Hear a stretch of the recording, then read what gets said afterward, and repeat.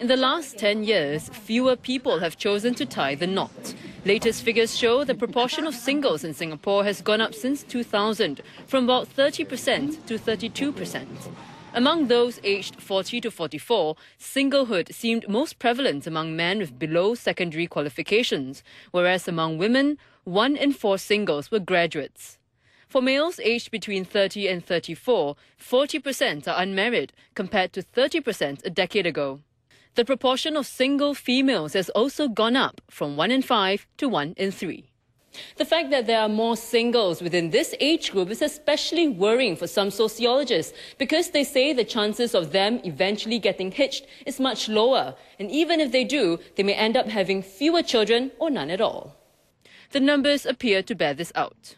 Ten years back, 14% of married women aged 30 to 39 had no children.